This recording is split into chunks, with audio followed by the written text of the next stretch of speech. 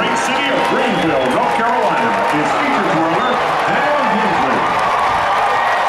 Ladies and gentlemen, please stand and direct your attention to the Pirate Vision scoreboard and join the Marching Pirates in the singing of the ECU alma mater, conducted by Dr. William director of the ECU Marching Pirates.